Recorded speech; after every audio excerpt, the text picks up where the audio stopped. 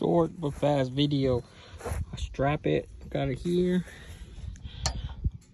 I try to look for the frame.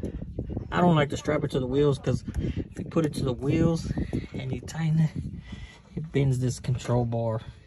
It already happened to me before when I first started.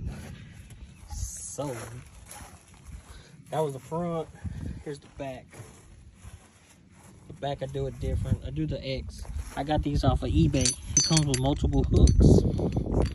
I usually use this one. Okay, same thing. Frame. I use the frame. And I do an X.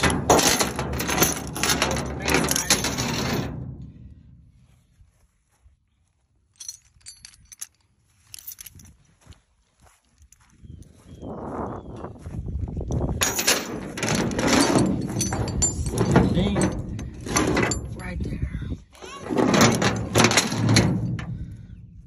X. That's how I do the back on every car. Just tight, tight.